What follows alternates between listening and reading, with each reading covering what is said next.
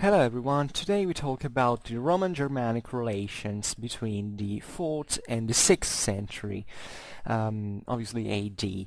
Um, this video is meant to be a sort of an introductory video to the period, to the, mm, to the migration period, let's say, um, broadly meant. Um, I won't discuss, you know, the in in depth um, the the causes of migration um, era. I will just try to stick to how the Romans dealt with the Germans and what we call as Germans, telling the truth.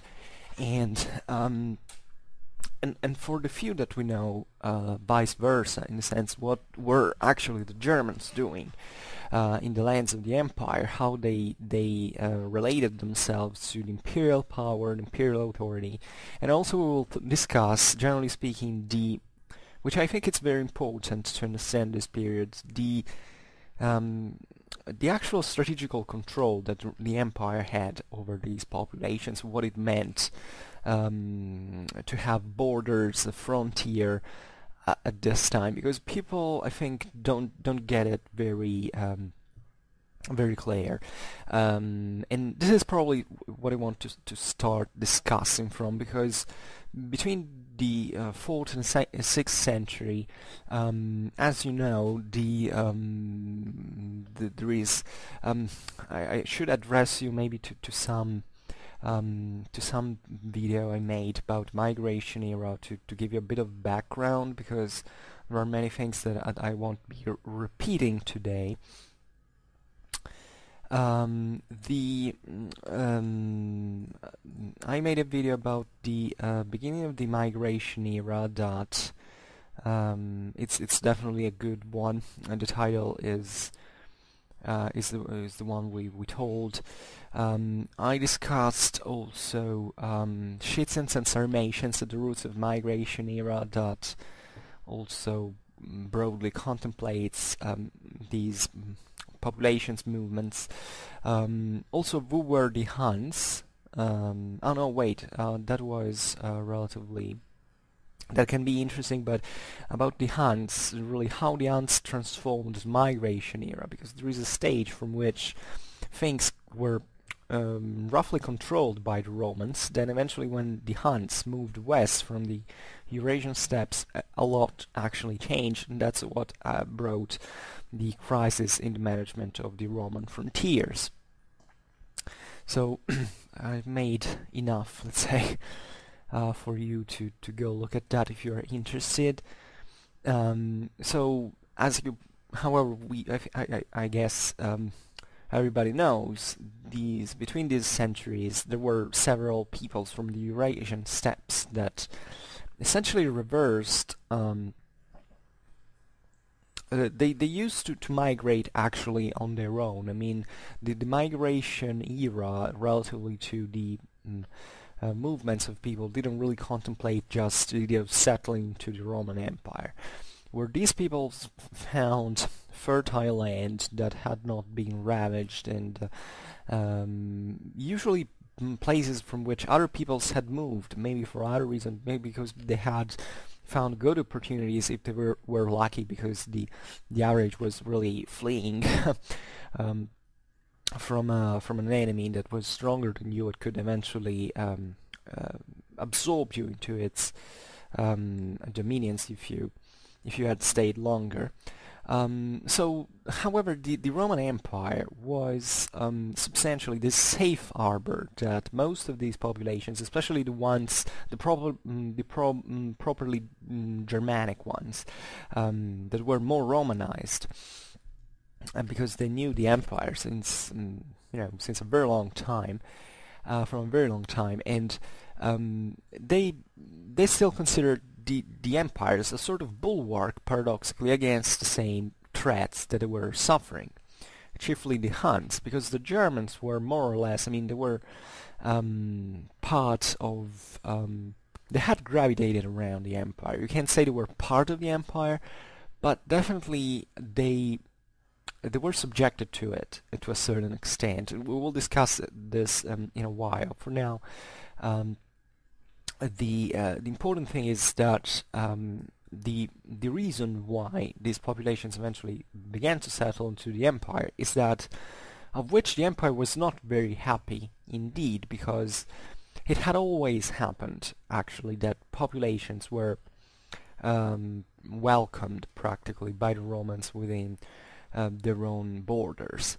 Um, but they they had been smaller groups that were very easy to Romanize, very easy to um, to to maintain subjected and and it was completely normal for ancient standards. I mean the Romans had a particularly sophisticated integration um, uh, system. The, the Romans actually built their own empire and they, and were able to make it stand so long exclusively because they integrated um, uh, the, the, the subjugated peoples at the point of progressively making making, making participating uh, to the to the imperial government in practice as Romans, not as barbarians, um, as Roman citizens.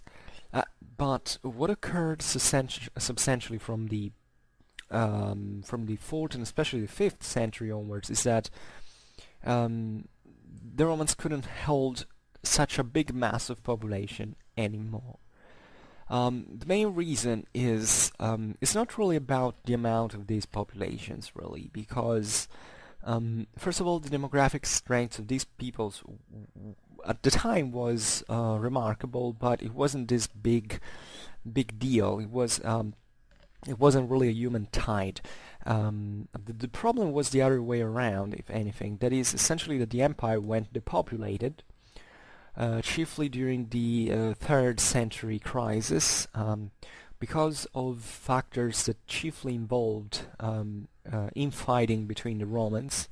Probably also certain climatic changes might have occurred, but in a mild way. But what is important really is that the third century uh, creates a co um, uh, a shortage of resources, also in terms of manpower for the army. So uh, you have to really think about the, the, the poverty of the ancient world. Sometimes we picture the the ancient world, the Roman Empire, with a degree of social complex complexity that is even superior to, I don't know, certain parts of the modern age. This is completely false.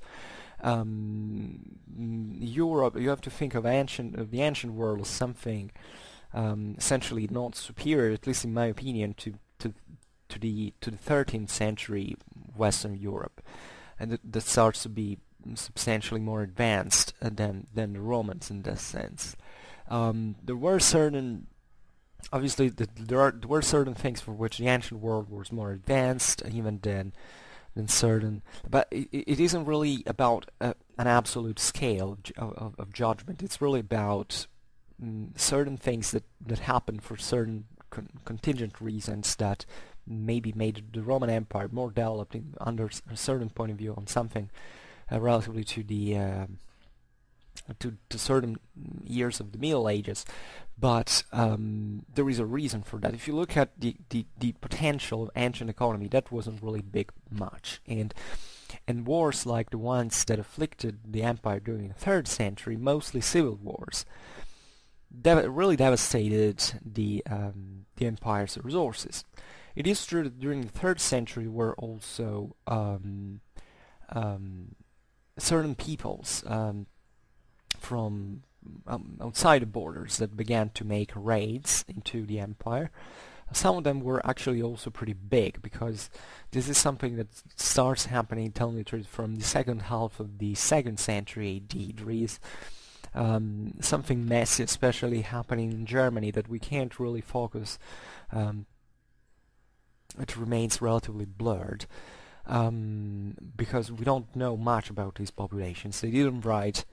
Uh, the Roman authors weren't excessively interested in, in them at, um, at that point, but in, there is a sort of order that kind of collapses. There is a crisis for which these populations begin to, to, to start pushing on the borders of the empire when um, the imperial borders are left uncovered because there is civil war between the same Romans, um, emperors overthrown, revolts, and all, uh, that were actually aimed at controlling the heart of the empire, so not really the um, the frontier areas that were usually poor, mm, aside from maybe some regions in um, in Moesia or, um, or probably part of Gaul, parts of Gaul, of, of, of Gaul, but the, the frontier areas of the empire were substantially um, they had a, a low economical potential, but the you know, when when the the in this sense the Romans lowered the guard, as it happens in all times in history, when there are big crises of great empires. This happened to the Carolingians, it happened to the Chinese before, um, it it was something that is normal, that is uh, brigandage, um, piracy, and and, and these uh, raiding incursions start to take place. So really, much of the reason why these populations also came to to harass the borders of the empire was um, the the the weakness of the mm, let's say previous weakness of the empire, not the fact that they weakened actively the empire. Also because they were basically kicked out all the times. So there was something really um, um, counting on the speed of these incursions that had a strictly military nature. What starts happening from the 4th century onwards is something completely different. It's really world, world peoples that basically are asking the Romans to let them in because they're being pushed away, that they don't have um, land anymore, they're literally starving to death, and they need to be accepted. And the interesting thing about this is that the Romans actually uh, had a benefit in, in letting these people in, in, in a controlled number because these populations could uh, refill those, um, uh, let's say, mm, those areas that had mm, been depopulated and to transform these settlers into essentially Roman uh, colons. Uh, which is what they did. I mean, the first barbarians were integrated, were essentially split. Uh, they, didn't survive as single tribes. They were essentially absorbed as peasantry um, into areas that maybe had a certain maybe ethnic prevalence of these populations, but were still under the Roman uh, administration was uh, also in, into the property of some of some people, some um, some Roman own, landowners. Um, some of these um, of, of these um, so-called barbarians were also bought as slaves uh, that were um, present in very high numbers because of the wars that were being fought between the same barbarians. So, as it always happens, slavery is very rarely something that happens by conquering a land and deporting the people as slaves. The Romans did that, but the greatest part of slaves that actually flowed into the empire came from trade, and it's a, it was a much more capillary way to do that. Also because the wars of expansion of the empire at this point had kind of stopped um, even previously they weren't so frequent. So uh, the Romans couldn't rely just on slaves that they they they took while conquering other nations. Um, also because these nations usually, if they were conquered by empire, were preferably left where they were. And, and, and the best thing the Romans could do to control those lands was essentially to co-opt the uh, local elites uh, and to, to, to rule over those peoples through those elites that eventually got Romanized and became Romans in, in turn. Um, so something that, as always, the people, uh, you know, the, the um, you don't have to think of the Romanization as a happy process, but definitely was something of great, um, of great advancement for the time because essentially also other great empires function in this way if you really look in detail but the Romans in this had um, a greater mm, I don't know how to say that but they were pretty skilled at doing that they, it's something that they started to to do since an early age and today we will talk also about the, the so-called foederati that uh, the foedus, which means alliance um, or pact, is something very ancient in Roman history. We we often talk about the Foederati as the um, you know as this late uh, stage of Roman history, but actually um, the Foederatio, the the Foedus, was uh, something uh, that remained um, throughout all Roman history, at least in the the ancient period. Um, as the normal, let's say, um, form of um, uh, the normal relation that the Roman government had towards the populations that it came to, to, to, to rule on. So, um, who were these barbarians anyway? Um, I use the term barbarian not in the sense that the Greeks and er, especially the Greeks and the Romans used, um, uh, but really we today in historiography we preferred there was a time like in the 70s in into which historiography said, oh, these were Germanic peoples. Let let's call them Germanic because barbarian is offensive. Today we came back to call them barbarians because essentially we realized that these populations were really Germanic. Uh, broadly speaking, we um, we will deal with this later. For now, but just let's say that there were much more, much many more ethnicities that also blended together with these um, Germanic populations. So today we prefer to uh, instead of saying Germanic, Sarmatian, um, Iranic, um, Turkic, and all uh, Proto-Slavic, etc. We prefer to say mm, barbarian because it's it, it's still an ethnic definition, if you want.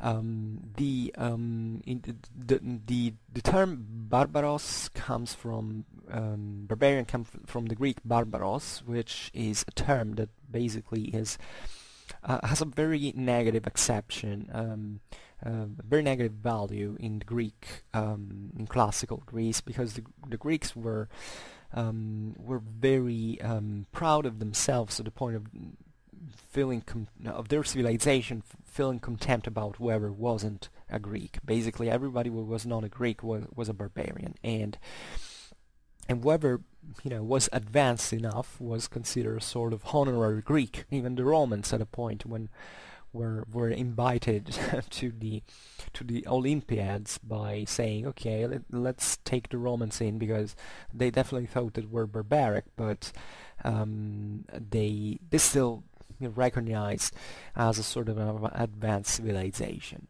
Um, the Romans had, telling the truth, a very different um, concept of the term uh, mm, barbarian.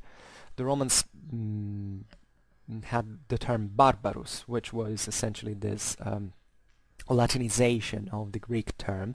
Uh, by the way, Barbaros seems to be an onomatopoeic name that, um, like barbar, would be the, the, kind of sound that the um, uh, the the Greeks were uh, um, essentially um, uh, mimicking, mocking.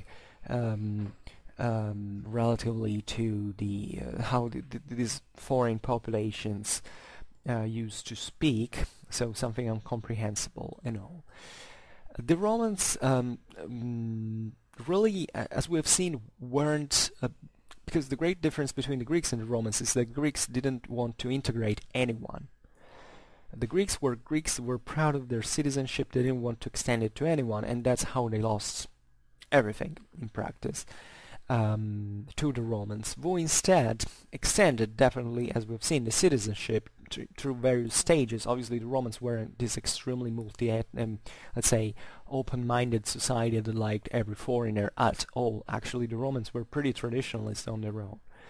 But they had found out that the only way to rule over a large empire, that was the one they wanted to, to build, was to um, integrate these populations and progressively Romanizing them and eventually make them full Romans. So at the time of the empire, when Rome uh, ruled over um, really many populations, also very different um, ethnic and um, backgrounds, they um, and and they had built the empire that you have to imagine for that time that um, say at the time of Augustus, Rome had de facto conquered the world. It is true that Romans knew that there was India, there was China, um, they didn't know there were other parts of the world that were even closer to them, like Russia, for instance, um, because the geographical knowledge was very different from one we had now. But objectively, if you have an empire that stretches from Scotland to, to, to the Indian Ocean, to the Persian Gulf, you, uh, I mean, in ancient perspectives, I mean, now we know it. Today we know we, we're we're grown old with with satellite maps and all these things. But at those times, that was the world. I mean, the Romans had really conquered the world. Therefore, the ideology that they had built had really um, shifted the meaning of of barbarian, um, at least in the Latin um, in the Latin sense, because in, the, in, Greece, actually the Greeks kept living into the Roman Empire as if the Roman Empire did not exist. They they practically uh, were so much um, in love with their own civilization that they they didn't um, they didn't mm, they didn't accept the fact that they had been conquered practically, and and the Romans actually left them pretty dwelling pretty pretty well because after all the empire had very low taxation compared to to other times in history. Uh, mm, there was a large degree of autonomy in, into the Roman Empire, which is something that people often overlook, and it's it's not really much about the Roman so supposed alleged Roman tolerance, which is also uh, it would be something very important to discuss because tolerance as we meant it today didn't exist at all, nor in the ancient world nor in the Middle Ages. There was simply it simply derived from the fact that it was impossible to really control with iron fist everywhere because it, it, it required an amount of resources that um, say pre-industrial societies didn't have. So the Romans definitely had this huge army that served the purpose of keeping, mm, you know, the populations at bay.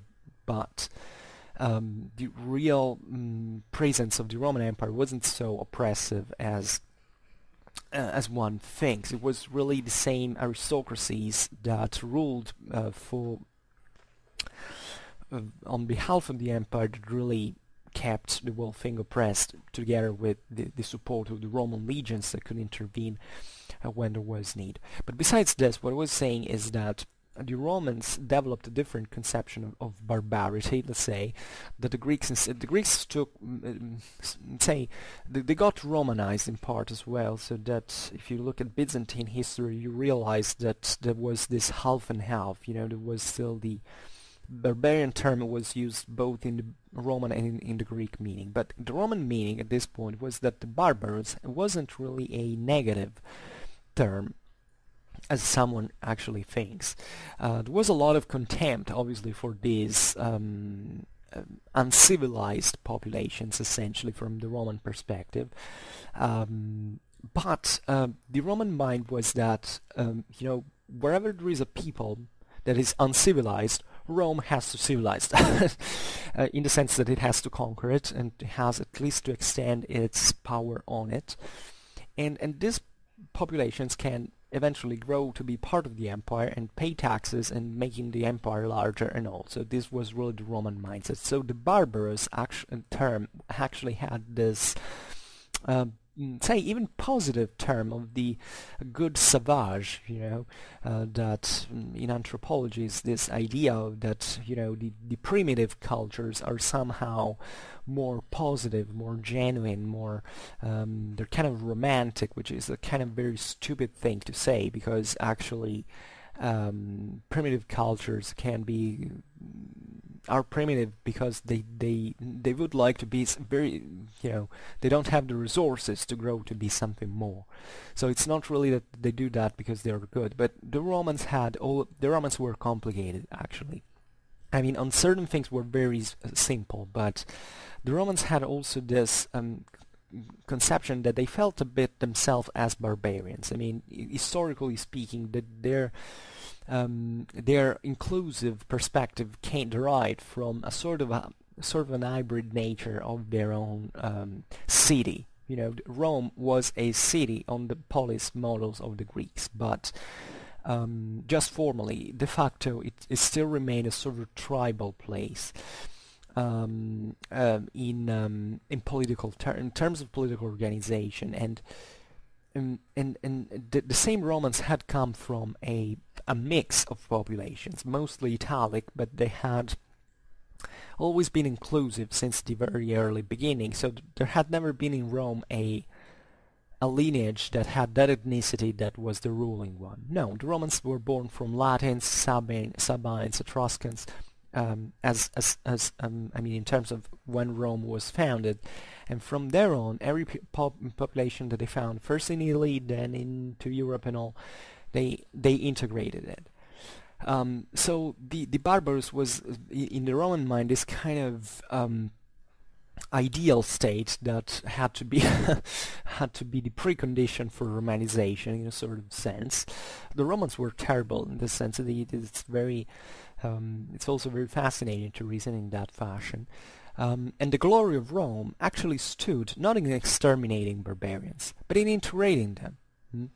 Uh, and this was the great dream also of of um, um, of Hellenistic influence. I mean, the idea of not even needing to take the sword against the people, because the people would subject to yourself without even uh, resisting. Uh, this is something that existed since uh, at the time of Alexander the Greek. Uh, that was never met in practice because there was always someone who was uh, struggling uh, and resisted not to be conquered.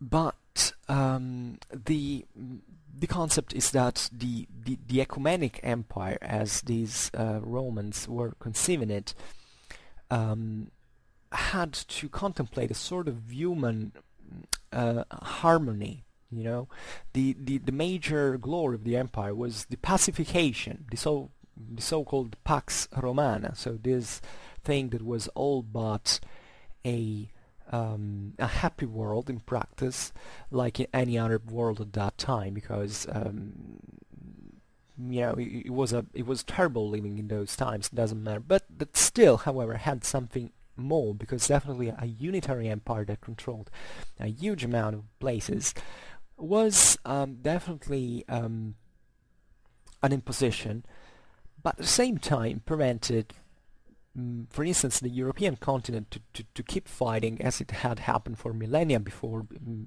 within tribes and brought a sort of pacification into some form of wealth flowed in and and could mm, you know sensibly better the, the life of the populations that lived in there.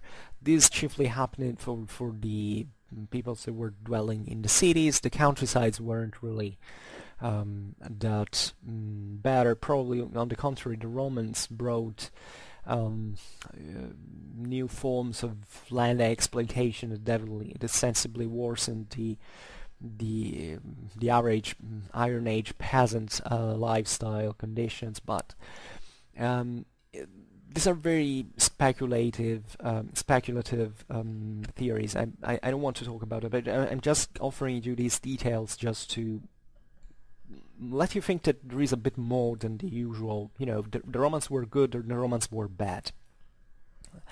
The, mm, that was an extremely complex world and uh, very also very different in its parts so it's very important so these barbarians from the Roman side were basically all those populations that were extraneous to their model of civilization it was essentially a sedentary civilization economically based on the cities, um, and consequently, mm, you know, mm, dominated by by um, uh, an elite whose culture contemplated at that time a high degree of um, um, let's say intellectual development in terms of um, knowledge of history, literature, philosophy, that often were all in one uh, thing. Science for for what science meant at the time.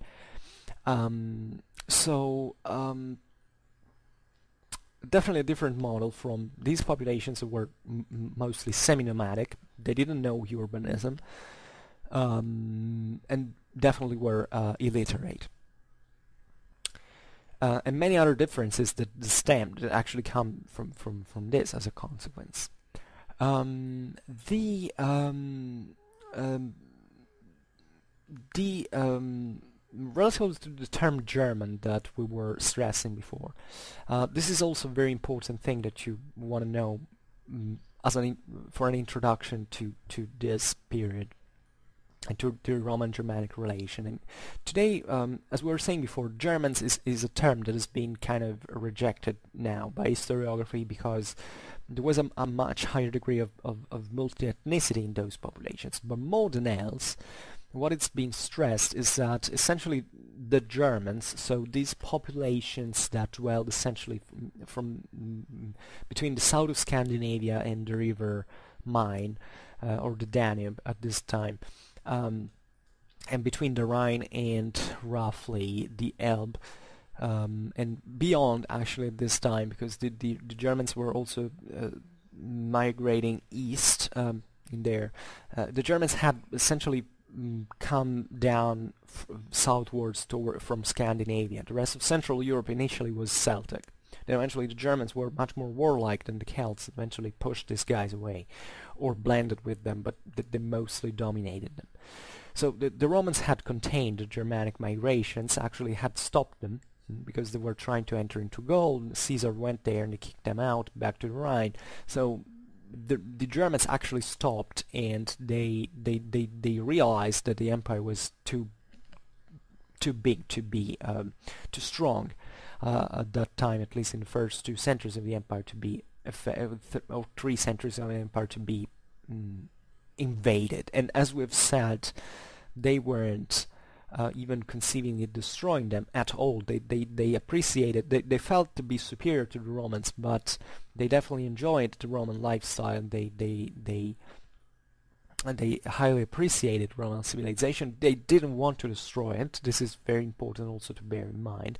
Differently from other populations that still didn't want to destroy the empire because it was a kind of a, a fat uh, cow to crop, uh, to milk, sorry. But, uh, excuse me, I drink a little.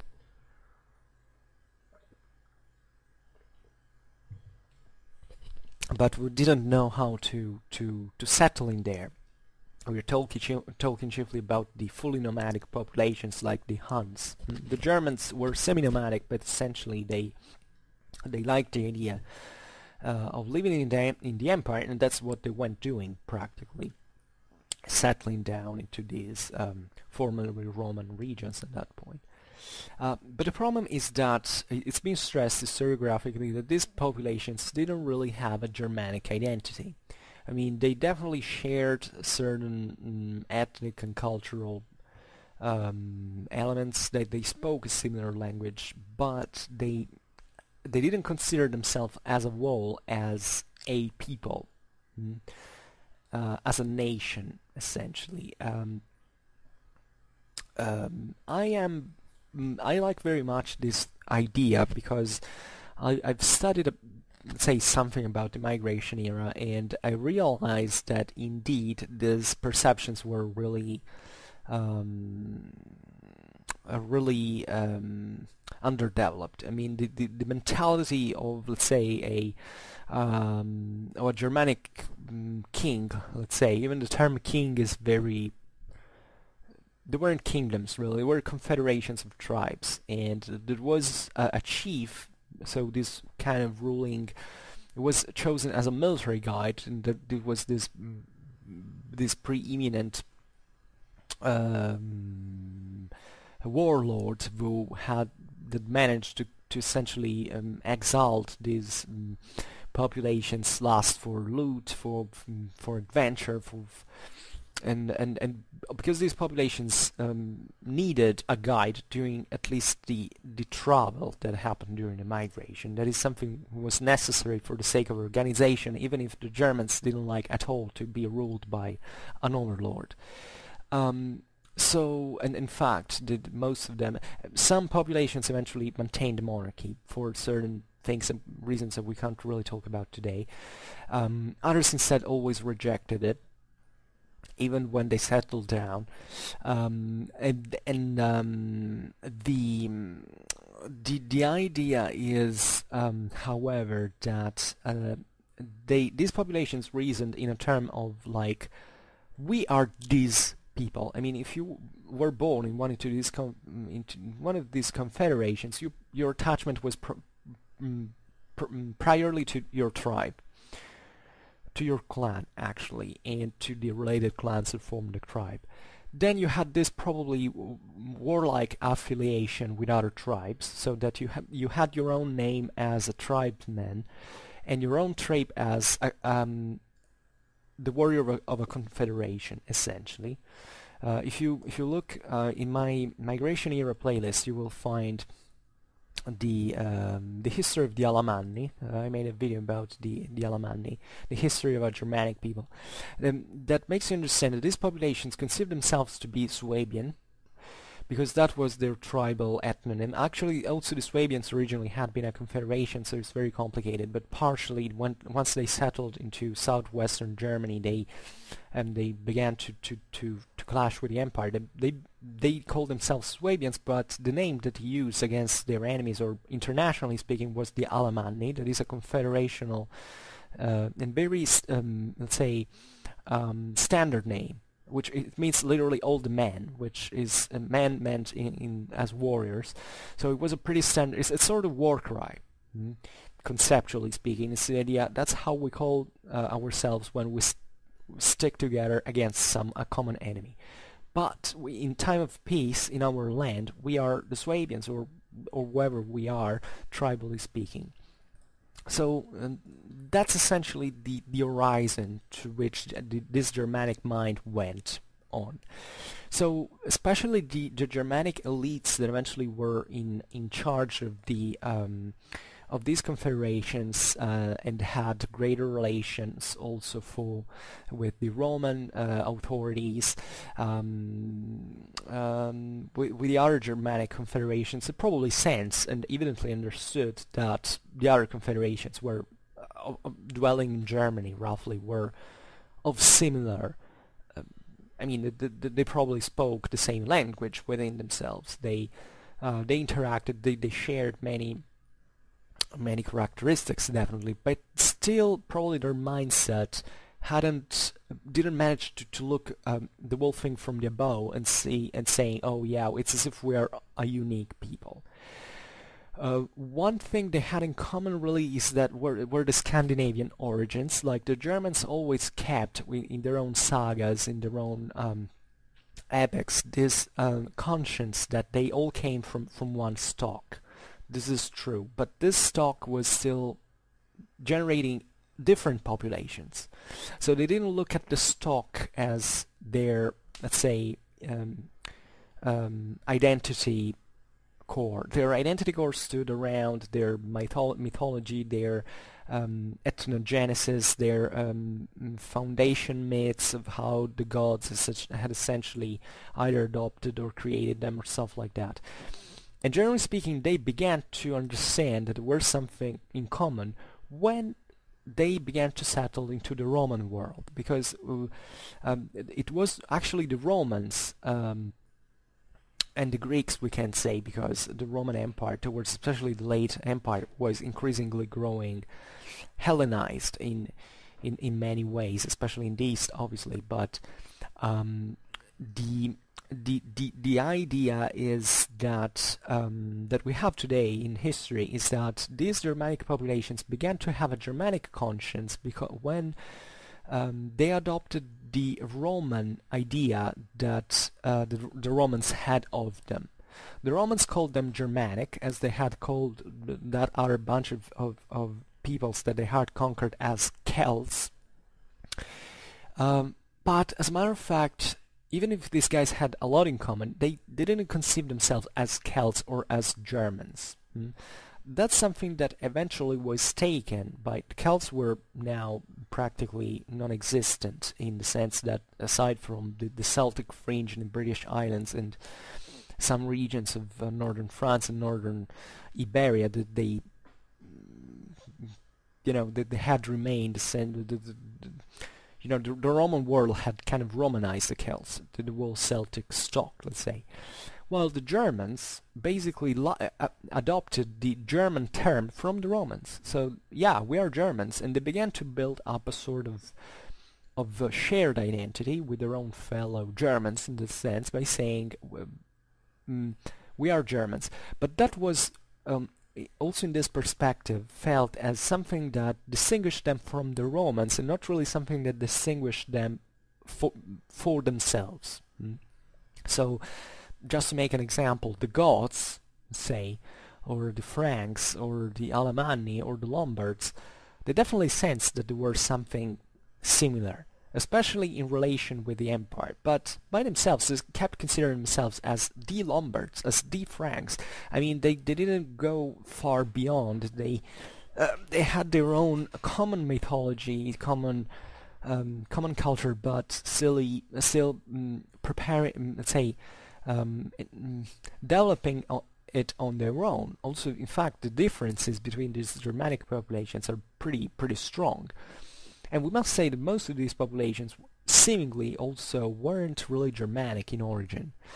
Um, it seems especially the Vandals, the Vandals today, uh, I mean, first of all, the ethnical problem is also relative during the migration era because these populations blended so much and so heavily that what really, the, the, the ethnic importance really stood in the core of their um, traditions, not in where they came from or what they what genes they had. Um, and, and, in this sense, it's remarkable how this, um, uh, let's say, um, um, core of uh, individual traditions survived actually um, through through a very long time. It was capable basically of catalyzing the absorption of many other ethnic components within the um, the original core, uh, the original group of, of the people. So it's very interesting because it shows that not just the Romans integrated other populations, but normally also the Germans integrated other populations. We think, for instance, that the Vandals today were sort of mixed between Germans and Proto-Slavs, not really um, being fully German. Relatively to the Lombards, it's been said um, that they weren't uh, really um, all Germanic in, in practice, that they had very big numbers of Sarmatians into their ranks. Same goes for the Goths. Actually, the Goths seem to have been the, um, a sort of et ethnic invention, like the Goths as a people have been somehow invented historiographically speaking. Not that these people did not exist, but the history and the origins of the Goths actually uh, looking from their myths, from their traditions, um, seem to have been a sort of very uh, patchy um, ensemble of um, of classical historiographical notions that have been put together um, by this population to essentially grow presentable to the uh, Roman world with which they were so much interacting, to grow actually the, the some of the most Romanized Germans. Um, so you understand that really the uh, identity of these populations is something extremely mm, complex to assess in historical terms. And we call them Germanic often to say because I don't know because the Germanic uh, culture however today is something you know, a whole block of Europe is essentially Germanic in, in origins, in language, you know, I mean, we distinguish that together together with the Romance um, um, um, populations and the Slavic populations. That's essentially the, the three elements that make up the uh, European identity, and um, uh, so that we, we tend to kind of categorize this. But at that time, while these identities were actually still uh, had yet to be formed, um, or or however we're, we're still very different from from the ones that they are today. Um, we have to be very careful ab about the names and how we're we're really calling these these populations. So for uh, for an extremely wide quantity of historical archaeological and linguistical studies uh, today we prefer to stress the fact that the term German is nothing but a classical invention that eventually was adopted by the same Germans in order to, to define themselves once they entered into the Roman world. Mm. And that initially they were something extremely different, or at least that they pictured themselves as something very, very different, and on, on, on much narrower basis, like tribal or, or confederative ones. Um, so Another great mistake that is usually done when thinking about the Roman-Germanic relations in, in the late Empire is making it just a matter of warfare. uh, am I to say this since I, I'm using a background picture that is uh, actually showing warfare between the Romans and the Germans. Definitely warfare was, um, you know, especially in this moment indeed of the migration era, a very big part of the Roman-Germanic relations as they were the relations of all political entities at that time. I mean, war was we can't say the normal dialectics between um, uh, peoples at those times. Um, but it's really reductive to, um, first of all, it's wrong to think that the Romans and the Germans were enemies by definition.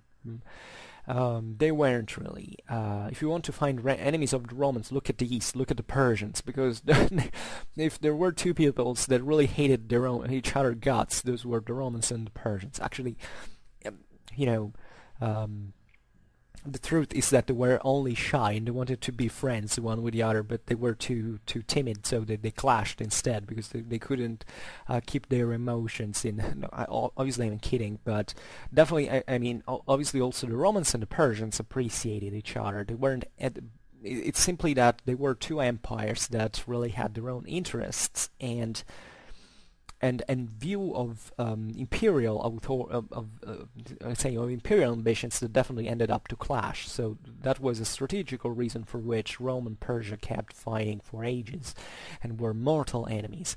But just for saying that with the Germans, it was all another thing. Mostly, most relation between the Romans and the Germans were definitely mm, Pacific. There were certain Germanic tribes like. Um, uh, certain Celtic tribes in the past that had been mm, historically friendly to the Romans. When I say friendly and even allies, I, I don't mean that these peoples liked um, each other much. They all wanted to preserve their own autonomy. But there were certain Mm, mm, say aspects of their certain events that, mm, and contingencies that eventually brought them to, to grow allies in, in some form. Like the Franks, for instance, that also fought at times with the Romans, were generally seen as allies. Even the Goths, in some measure, uh, uh, were conceived as um, at least privileged interlocutors by the Romans. Um, there were other populations that instead were um, irreversibly enemies of the Romans, like the the the Alemanni, um, that actually built up their own uh, ethnic identity as a confederation in, in anti-Roman function in practice. The Lombards, who, who weren't really um, the, the, that had been allies of the Romans also at times, especially uh, in the beginning when they were still in Pannonia, but that for evident reasons bordering the Romans after a, a time and settling into Italy were uh, unavoidably enemy of the Romans and never accepted any form of, um, let's say, of um, of Roman delegation for ruling over Italy, like instead the Franks had done with Gaul or the Goths with Spain and Italy uh, with Italy before the Lombards. So there are different relations. So it's actually the Roman Germanic relations are pretty complicated. It would take um, a, a whole university class to to actually mm, scope that properly.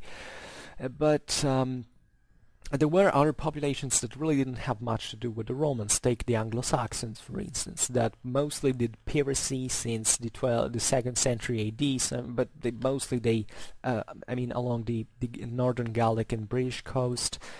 Um, but however, ended up in settling there in the so-called Litus Saxonicum, as the Romans had called them. But essentially, what happened with Britain is that Romans went away.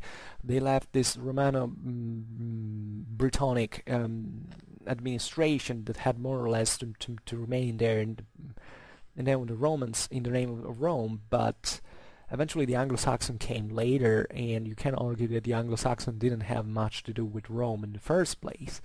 Um, uh, there were Mm, also certain Germanic populations that practically didn't interact with, that they remained into Germany as well.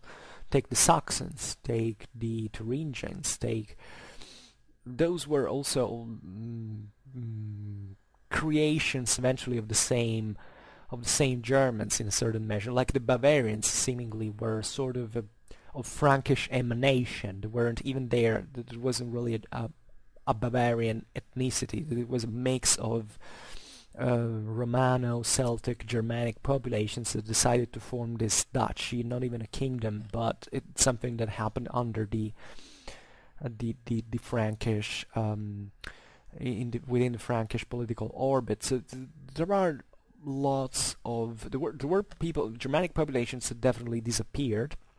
They were crushed, they were defeated, and that quite interestingly, even after having dwelled um, for centuries into one central uh, area of uh, um, of um, um, of, uh, of, of Europe decided once the word crushed defeated to to come back on the um, um, on the um, into Scandinavia and um, so this is very interesting because it shows how these populations actually still uh, recorded their common origin and how they felt that to be um, um, th there had to be something. Scandinavia was seen the, the, the place of origin of all these populations.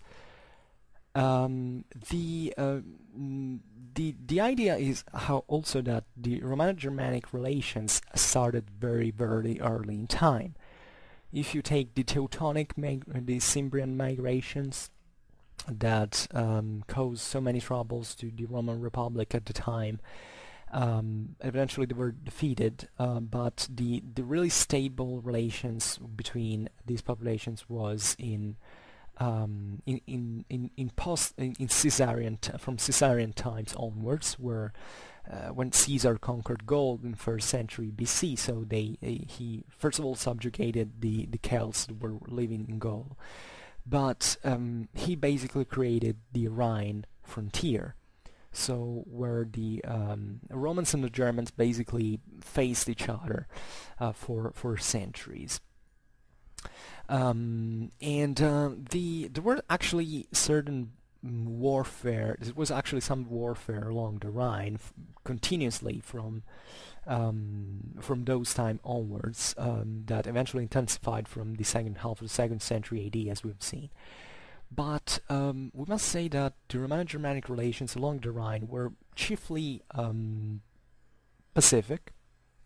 Actually, the greater problems for the Romans were on the Danube, um, because of the Marcomannic Confederation, that was actually a pretty powerful one. And actually the Western Germans weren't considered even as a particularly great threat, because we have this idea that they um, the Germans were this extremely terrible thing, but Caesar actually defeated them, and they were definitely pretty warlike populations. They were, in Roman eyes, the, the most warlike populations that existed in terms of individual bravery and all, but definitely in terms of political and military organization, they, they weren't much of a threat, because they were too weak they still didn't organize themselves into confederations, especially on the Rhine. They were still uh, tribes. Uh, the bigger confederations had been the Swabian one that was in the northeast of Germany, actually between Germany and Poland today, and the Marcomanni that had uh, knocked out the Boii from Bohemia and uh, were pretty aggressive and a very big, even kingdom considered sometimes. Think about the Marbod, their king and all. Um, and actually, the disaster of the Teutoburg forest for the Roman armies wasn't taking place because of warfare against the Western Germans, where, where the battle, the, the slaughter more or less, actually occurred. Um, that was because the Romans were pass mm, passing very uh, serenely through Western Germany because they considered it to be conquered. Actually, the Romans conquered Western Germany and they kept it subjugated for 20 years uh, or more even up to the Elbe River. The Romans conquered Germany. The problem is that um, they wanted to crush uh, the Marcomanni passing from the Rhine and from the Danube, so this this kind of pincer movement. Then eventually there was the Illyrian revolt that made the uh, invasion of of uh, the Marcomanni lands uh, aborted. And that's when, while uh, the, the Roman armies were retreating, uh, were passing through the Western Germany, that the, Western Germans rose and, and defeated the Romans at, uh, in the Battle of the Teutoburg Forest. And from there on, the Romans kind of understood, I mean, if they had wanted, they might have crushed the Germans once again. The problem of Germany was not much being conquered, but being maintained, um, because it, and it wasn't really only about the nature of the Germans. That was definitely very tough, but as we have seen, the Germans had been conquered at a point, and they had even began uh, in part this on this journey on the path of Romanization, let's say. But when the Romans saw the Battle of the Teutoburg Forest, they understood, made some calculation, they actually thought to reconquer Germany, but they they understood the main problem there, uh, having entered into it because before that they, they didn't know actually Germany how it really was that they, they, they in order to, to maintain it they needed a huge amount of resources in terms to create a sedentary uh, civilization. I mean Gaul that they had conquered was easy to keep because it, were, it was a very wealthy land the Celts had even managed in this sense to reach some certain forms of proto-urbanization, so it was very easy for the Romans to, to control Gaul, environmentally speaking. There were already certain um, highways, um, land.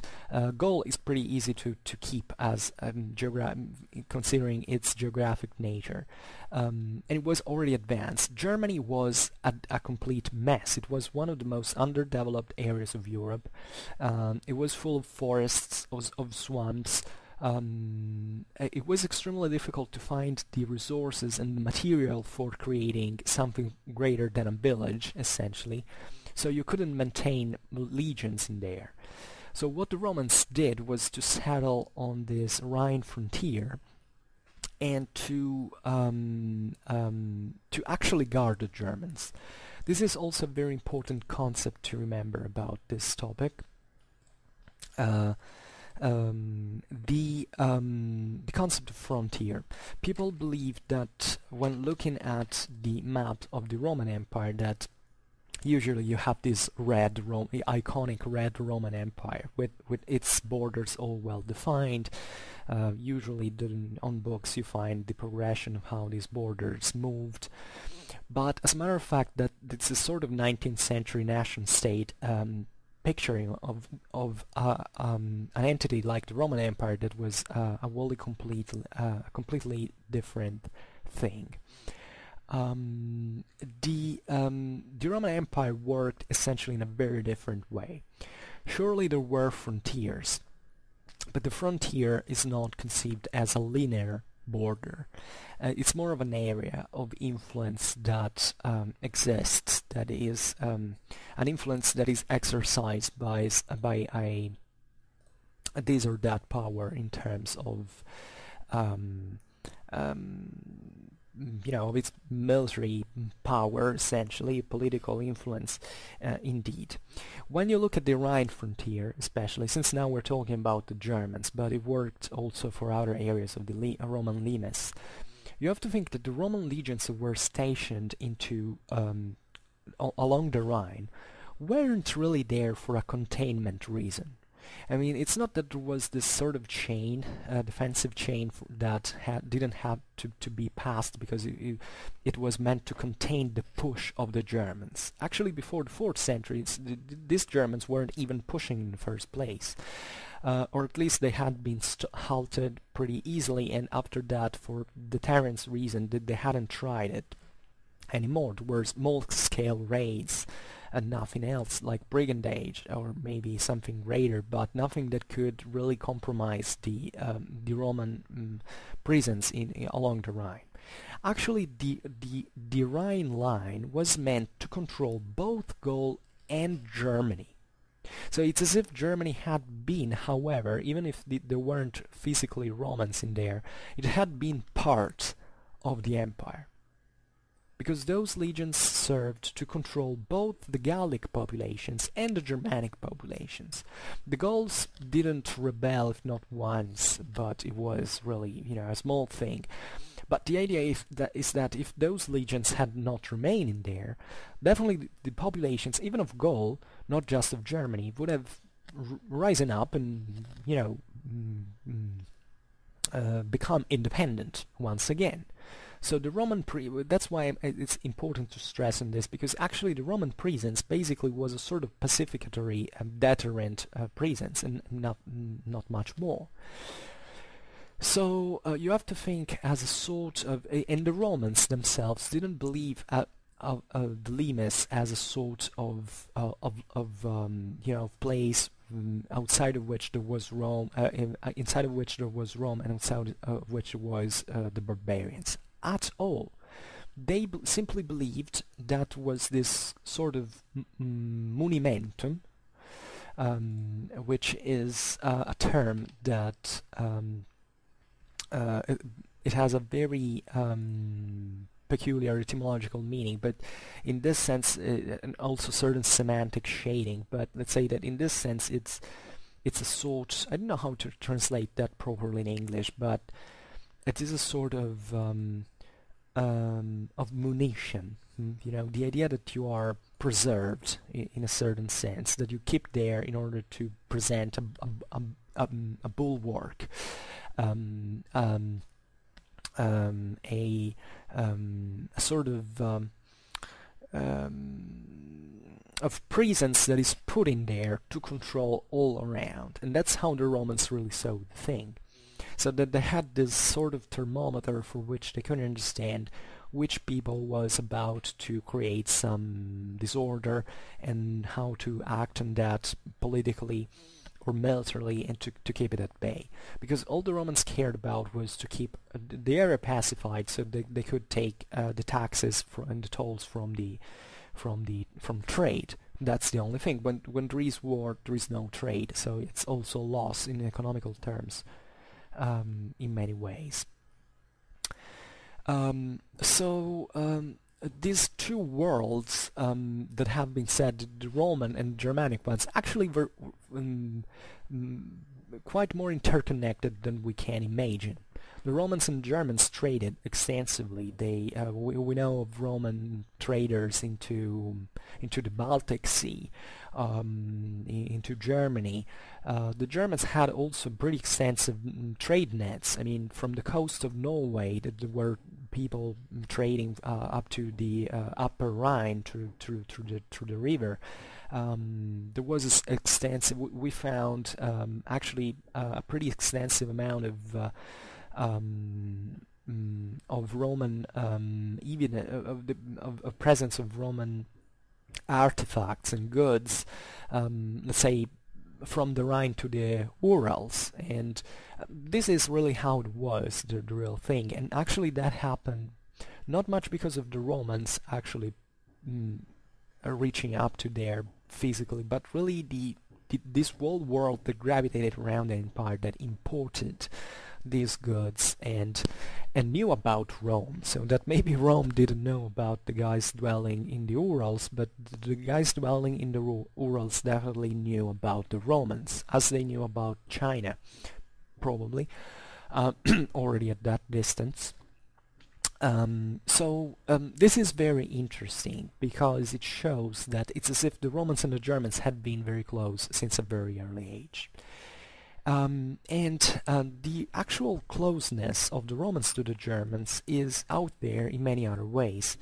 Because first of all, the Romans, uh, as we know, hired lots of Germans since um, in, in the Roman army uh, since very early age, like in, even in the Gallic War of Caesar, first thing Caesar does is uh, noticing that the Germanic cavalry was uh, cavalrymen were pretty good, they didn't have good horses, though, because Germany was um, sort of an infamous land to, to, to, to, to for any kind of um, breeding and economical activity in, in, a broader sense. So he basically took even the, the, the horses of the Roman cavalry, the Roman knights, and, and gave them to the Germans, that, however, were much more individually skilled, and, and thanks to German cavalry, uh, won many many clashes against the Gauls um, the, uh, the Germans were enrolled into into Augustus' bodyguard.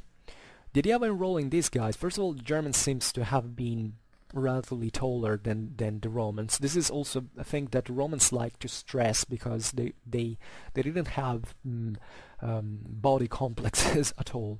But the truth is that really between an Italic mm, and, and a German, there weren't at the time excess an excessive um, difference in height, um, if not of a few inches practically. Um, but the Romans like to emphasize that, al that although being shorter, uh, they uh, they had managed to prevail against these populations like the Celts and the Germans that they were stereotypically depicted as red or fair-haired, as very tall and all. Definitely were tall, they were big guys and all. Um, this had happened prevalently because the, the tougher climate of the north had selected populations, um, say tougher, tougher, bigger organisms, let's say, the, um, compared to, to the warm Mediterranean but there wasn't, I mean, there were all Indo-Europeans, there weren't these huge ethnic differences at that time. Um, but generally speaking, these guys were taller, stronger, um, they had a very individual uh, training skill, and they had a, a, relatively poor collective training because they didn't have the the uh, the state like the Romans had that could impose that discipline on legionaries and making them this extremely efficient military machine on on the field. But individually speaking, they were tough, robust, and very apt at fighting. And obviously, the Romans went selecting the, the toughest ones, definitely not the weakest ones for the imperial bodyguard. And plus, the idea was that the um, as it happens many times in history that by hiring uh, a foreign mercenary, uh, um, a foreign that essentially has no affiliation to the local political intrigues, you are safeguarded because that guy receives your pay and and he's tied essentially to you, and nobody else cares about him, um, and therefore it doesn't intrigue, which is also a bit an oversimplification because these things kept kept happening. But this was also a way for the Germanic elites that at the time of Augustus were within the empire, as we've said, because Germany had been conquered before uh, Teutoburg, um, to actually grow close to the Romans.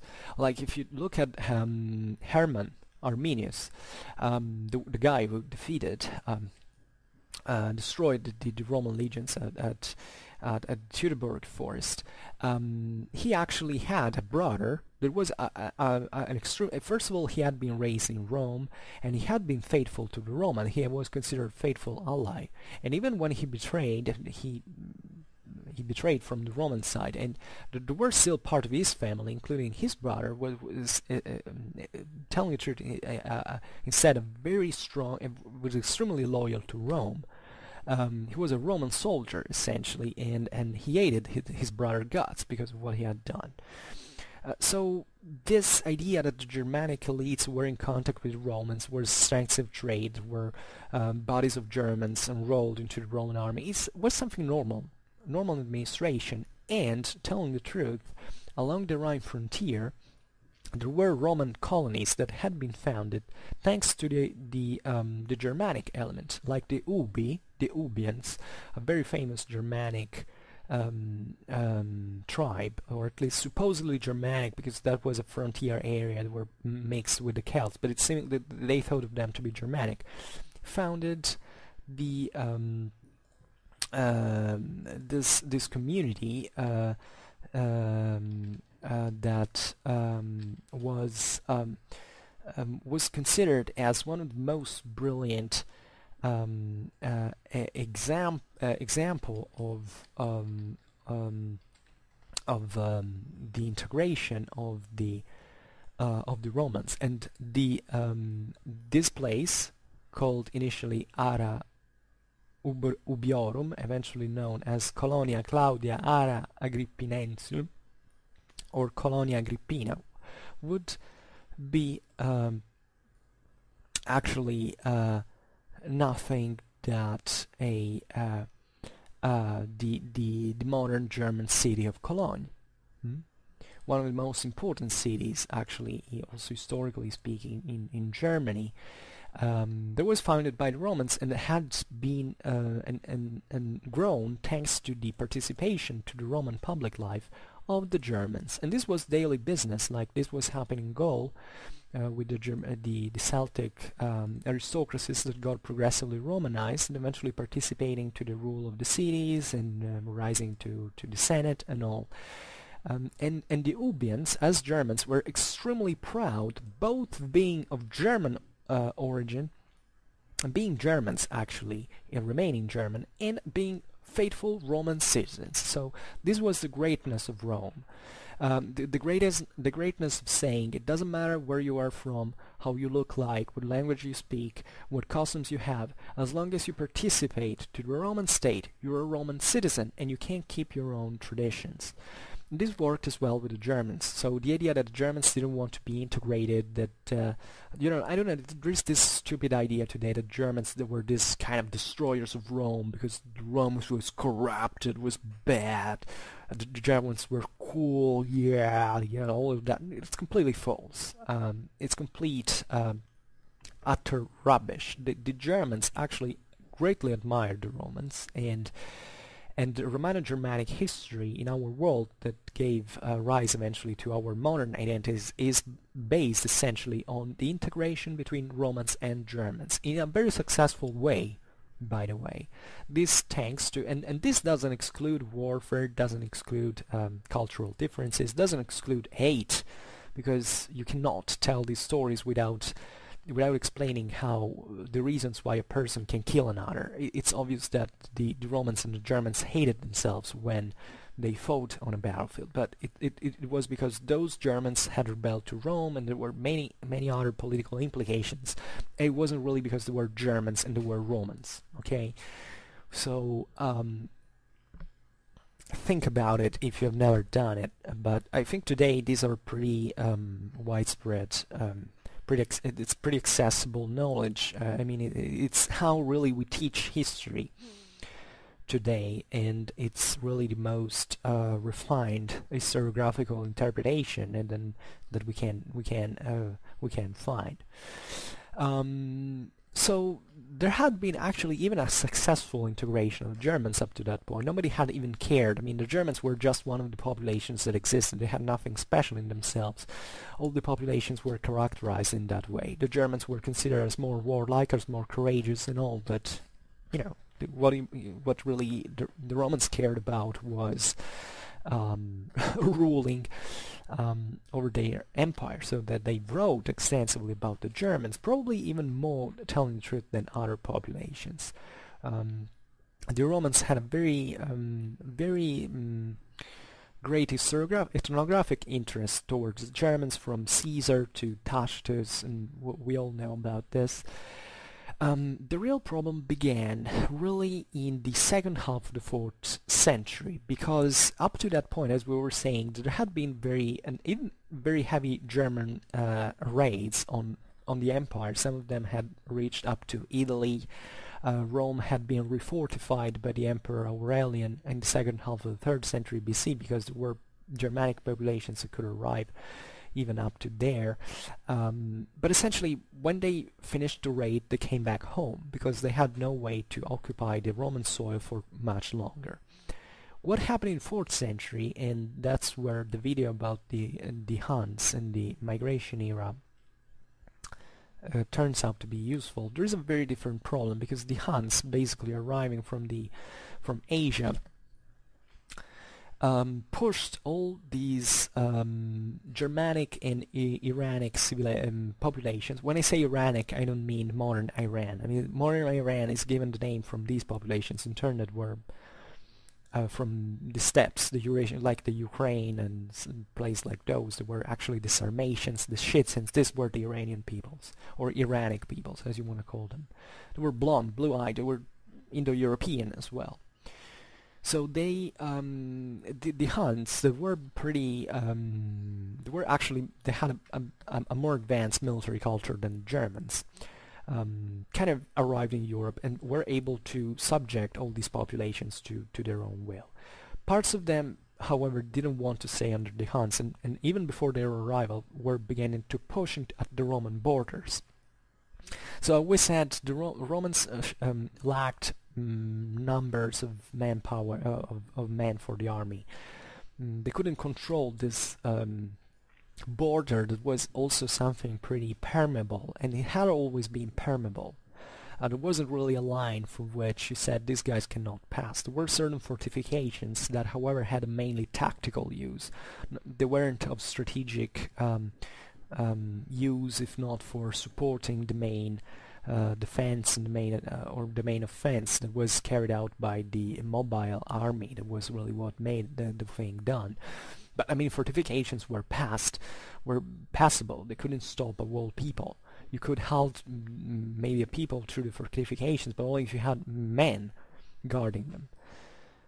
So practically, um, the uh, the the Germans were uh, desperate about passing because, um, as we know, they um, uh, they didn't have a proper um, they, had, they didn't really have any other chance at that point but being subjugated by the Huns and the Huns meant simply that there were mm, uh, new rulers that uh, also had to eat and to dwell in their in, in the pastures and in this sense someone had to get out so there is the, the famous um, event of the battle of Adrianople that was one of the um, probably more under overestimated defeats of the Roman army in history. I mean, there were much more disastrous Roman defeats in, in, in Roman history.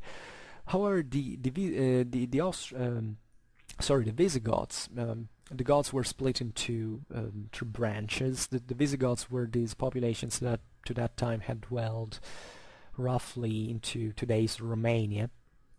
The Ostrogoths were instead in the Ukrainian steppes, and they eventually came to be subject to the Huns, so that eventually the Visigoths entered after Battle of Adrianople into the Roman Empire. In the Battle of the Catalaunian Fields, you you find the Visigoths fighting uh, um, alongside the Romans, and the uh, and the Ostrogoths fighting alongside the Huns. By the way, the Hun, the the, the Huns highly respected the Ostrogoths, and and the Ostrogoths also got pretty um, uh, influenced by Hunnic warfare. They grew a very strong cavalry, seemingly but also probably because they were mixed with Sarmatians that were already horse riding peoples and all.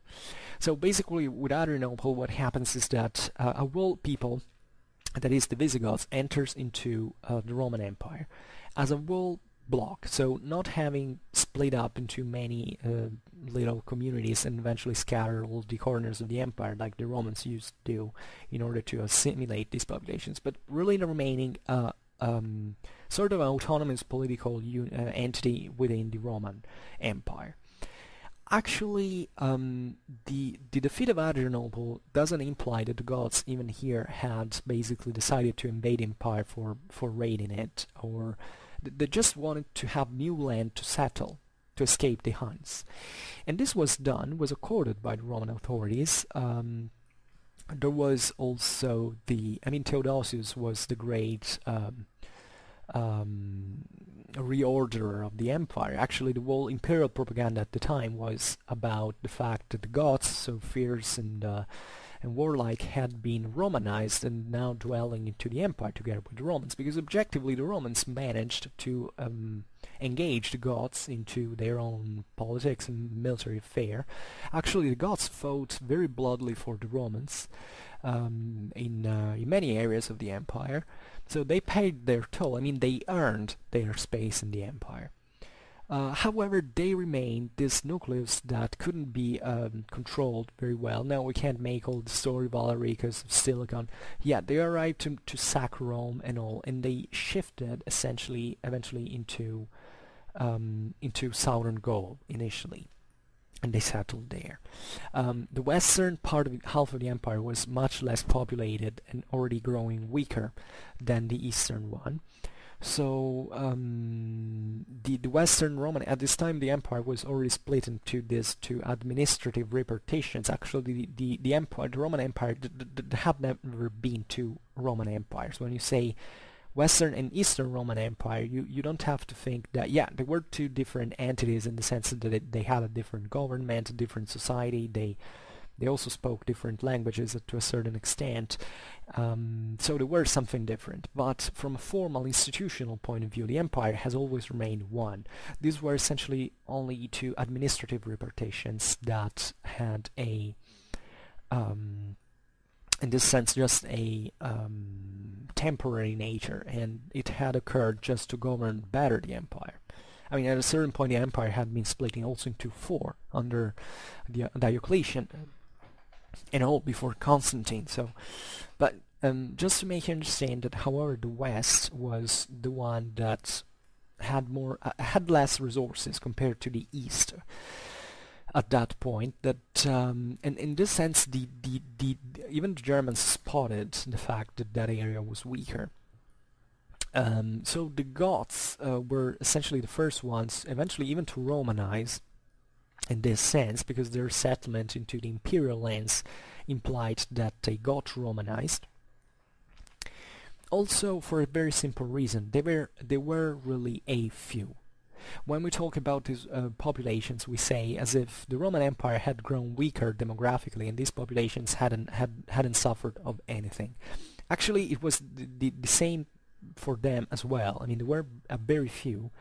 Um, this migration mm, migrations had also caused an attrition um, that had made them lose energies, manpower as well.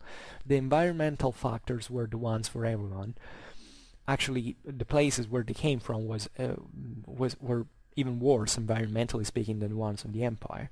And when they settled in the empire, we're talking about a few um, tens of thousands of of, of um, um, of I'd say male adults probably um, that made up the warrior class. So we can imagine that they reached up never probably more than than 100,000 which is a huge estimate, telling the truth. It's really the, the extreme estimate. The places where they settled in the empire were populated by millions. So even the the impact of these populations was relatively um, relatively mm, mm, few in practice. Um, and especially these populations, in order to, to live within the imperial borders, they had necessarily to mix with the local populations, to, to form bonds with the local aristocracies, to do so. How did this happen practically? So, with the uh, Visigoths, in spite of all the dramatic aspects of the, their migration, the defeat of Adrianople and all, the the Visigoths, uh, the Romans had decided to to basically make the Goths settling in Thrace. Um, this is also interesting because Thrace was, um, you know, what the Romans really cared about was in settling these populations in the less populated areas of the empire. The ones that were wealthier, generally speaking, were not easily given up. And so the idea is was to form this sort of um, shield um, by settling the Germans um, alongside the frontier in order to, to stop even the other uh, the other migrations. Because once that, that these Goths had conquered their own land they surely didn't want to give it up to other guys knocking at the at the door. So uh, the the Goths as we've seen were settled in the um, 70s of the 4th century um, and the relation, the say institutional relation that the Roman Empire um, uh, uh, enabled with them was the so-called foederatio. So we were say, talking about before, it's the so-called alliance. Um, and, um, and and this was used as a system of containment mm, of this pressure exercised by uh, the other Germans on the frontiers. Um, so turning even Germans against Germans in a certain measure. Now it's interesting in here also we, we have all the um, Roman perspective of the Foederatio, meaning that um, the Romans still, uh, the Foederatio was a very ancient thing as we were saying. It was usually based on a mutual agreement. Mm, this was the main reason. Um, actually the Romans had developed the Foederatio in their expansion in the Mediterranean also um, creating um, um sort of a uh, unappellable type of alliance. That was a forced one, uh, the foedus iniquus, so which means the um, unequal literally um, so unfair um, uh, pact. That was essentially an alliance uh, as a, a, pact imposed on those populations that had been kind of razed to the ground and that couldn't and, and Romans took advantage of that so imposing them to serve into the Roman army to tell what they, they wanted and to do and, and all um, uh, what they wanted them to do and etc um, in, this later phase, the, this foederatio was seen from the German side, even, even though we don't have many sources from the, the German perspective, as a sort of mutual agreement. And because the Germans didn't conceive themselves as put there by the Romans, they obviously understood that it was like that, because if the Romans had wanted, they could have wiped them out uh, with greater effort, but it, it, was still a danger. I mean, these peoples knew that they had got their land, but they had to behave in a certain sense, not cr to create further attrition. But, but from, from the Germanic point of view, from the Germanic perspective, the Germans were always free. I mean, they were full um, contractors in the in this alliance. They didn't. Um, they they did that um, freely without uh, coher um, um, uh, coercion, um, they felt themselves as the freemen that had won their um, their mm, prize with arms, and th this was really a Germanic mentality. The Romans were, were very different. Naturally, they they thought to be still the masters of the situation. So these are also parts of the cultural misunderstandings that definitely brought to warfare to to complicate situation. But it's not really about culture, it's really that uh, about politics and, and military. I mean, th there are certain, it doesn't matter which populations are interacting, um, politics and war are always the same. They, they always function in the same, uh, for the, with the same rules, let's say. Um, so the um, there was also another form of um, um mm, uh, let's say, um, another system through which the, the Germans were practically settled because one thing was the foederatio, was the, the pact proper, but were also the conditions of exploitment of the land. Sometimes foederatio and hospitality, and, and, and, this name is the hospitalitas, so the uh, hospitality literally in Latin. So the foederatio and the hospitalitas uh, didn't necessarily went uh, along together. Um, I mean, together. Um, there could be either just the foederatio or either just the hospitalitas or both or known because certain Germans eventually settled into the Roman borders without asking for permission in practice. Even though it, it, it uh, I mean, at least the major peoples still, mm, Germanic people still so profitable as, um, you know, to intervene, um, I mean, to, to interact with the Romans to gain this formal uh, sanction of their settlement because that was pretty precious and you couldn't really enter into into into that system and not caring about the Roman Empire because that was still the major power that could reconquer everything theoretically from a moment to another. So you had to be ready at least to have established a certain kind of relation with, with this entity. So uh, the hospitalitas the hospitality um, was um, essentially a system um, according to which the um, the Romans entrusted to the new settlers, uh, to the newcomers, one third or even more sometimes of the lands and or, or the products of a certain region in exchange of um, fidelity, fealty essentially, and of the uh, obviously of the feudal um, uh, excuse me not feudal but military um, help to the empire, um, support to the empire. So with uh, Germanic uh, troops. I said feudal uh, with a lapsus because indeed this is something similar to the um, feudal system. I mean in feudal system you have the king that says okay I entrust you this land um, to to provide me troops for, for fighting alongside with me. But this is what the Romans were already doing. So this was a moment to which even society was slowly transforming into what we call as the medieval one. There was nothing like that, obviously, but there are certain um, dynamics that start happening from this time. And this is interesting because here it's not just about the lands, as we've said, but also the products of the land.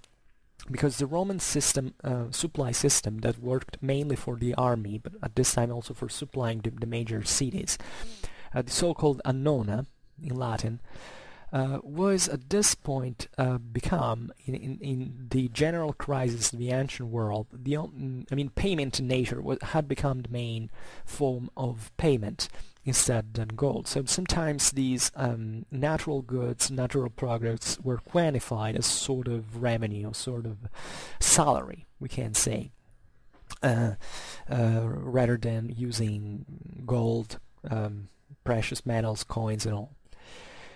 Um, so um, obviously the Romans tended to settle the um, the Germans, as we have said, in those areas that were largely unpopulated. We are told that when the Franks settled along the Rhine, even along Cologne that we discussed before, practically mm, almost no one had remained there because between the mm, wars, the the epidemics, the climate change, whatever you want to put in as far those regions were unpopulated and believe me in the ancient world it was pretty easy to uh, to depopulate an area. Mm.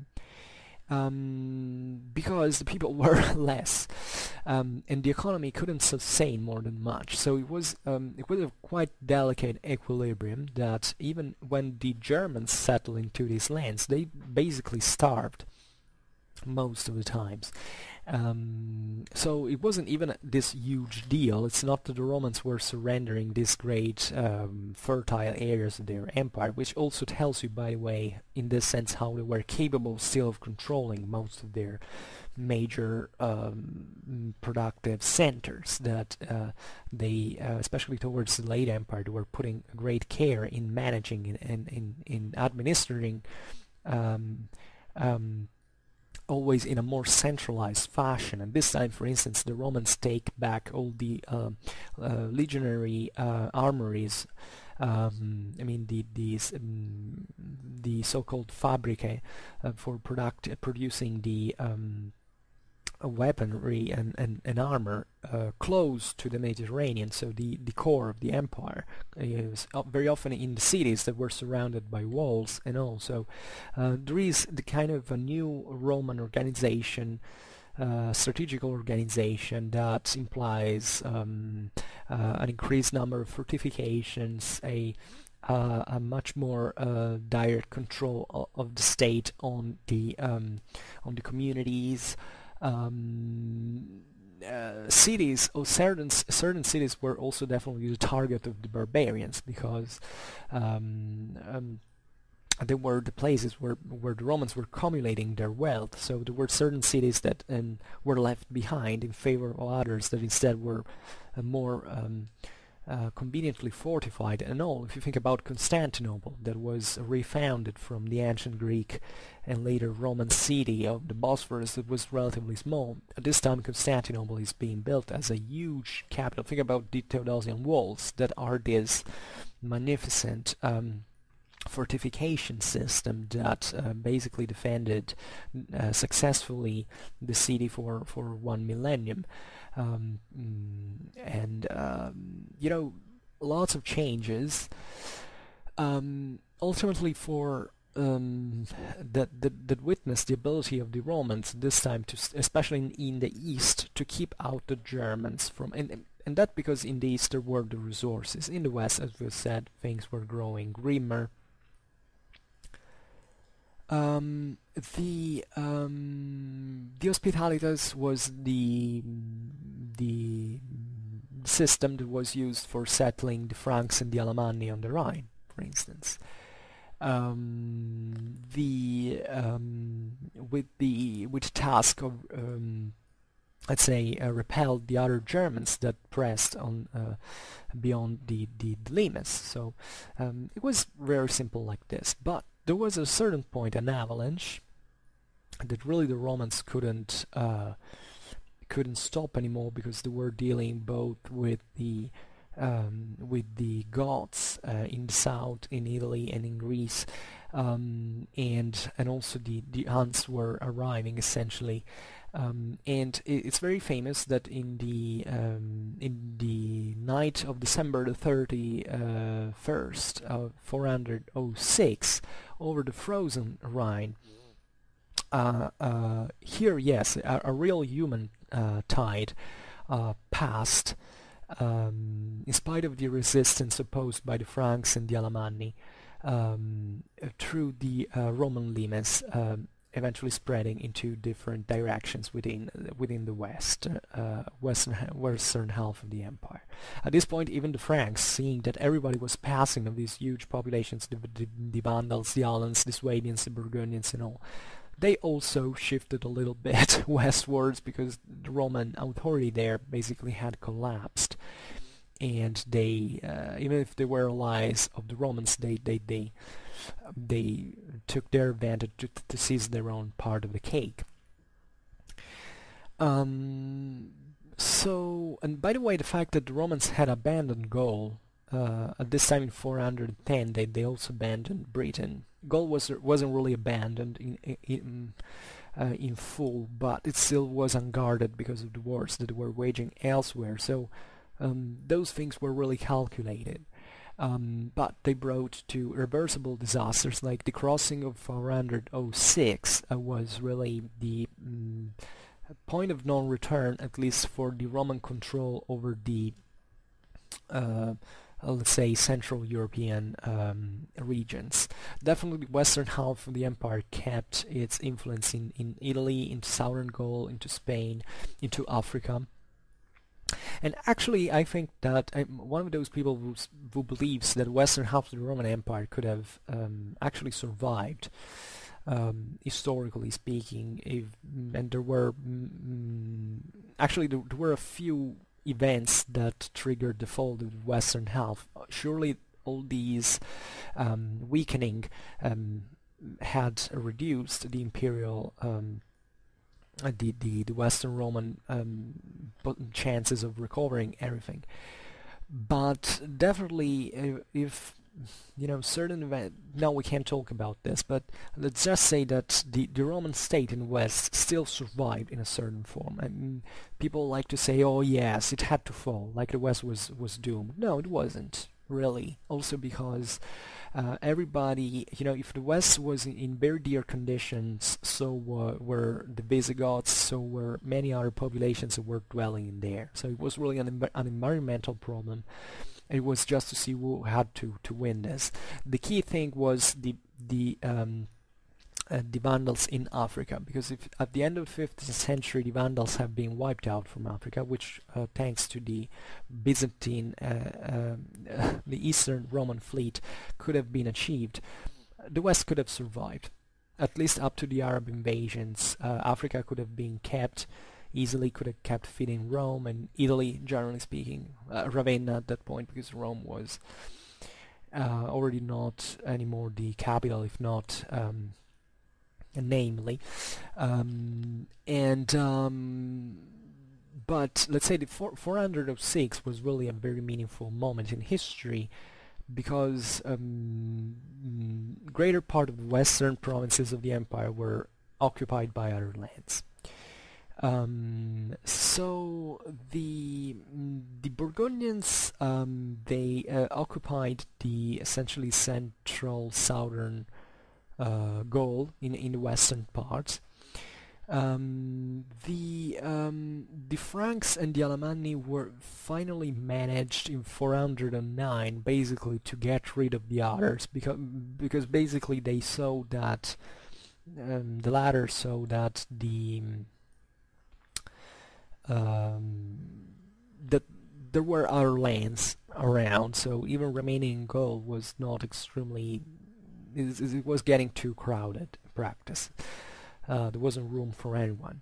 So these um, populations crossed the Pyrenees and they invested the Iberian Peninsula. Notice that Italy still existed, so meaning that at least in there there was a mm, there was still the bulk of the mm, Western Roman forces that could not just defend but also eventually launch attacks on as it would happen into Spain, into uh, um, into, into Gaul, etc. Um, the, the Swabians, at least part of the Swabians, because some of them had remained in Germany, including the Alemanni that were uh, Swabian in origin, but mm, a consistent group of Swabian um, entered Spain and settled in today's um, territories of Galicia. Galicia is a um, a region in um, in the north of, of Spain. So the Swabians dwelled in there, and actually the um, the Visigoths, um, um, the uh, the, the Visigoths eventually also went into Spain. They created the larger kingdom, and they managed to, to subdue them in a certain fashion. But but in practice, the, the Swabians remained pretty autonomous in in, in there.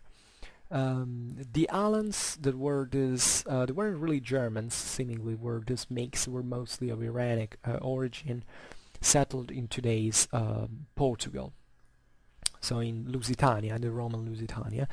And uh, while the Vandals settled in the central and southern part of the Iberian Peninsula, and from there eventually they, they moved uh, to, to Africa, where they created their, their uh, kingdom. Um, there was a, a, pretty interesting one. We will discuss about the Vandals one day. They, they were not at all the Vandals that we describe. That was um, a, prejud a prejudice, uh, also not really drawn because of their political military behaviors, but mostly because they were Arians, and therefore the papal historiography bothered them because they, I mean, um, wrote that they were bad, while the Catholic, the one who had to convert it to Catholicism, were were good. well, there weren't many that actually had converted to Catholicism at that point.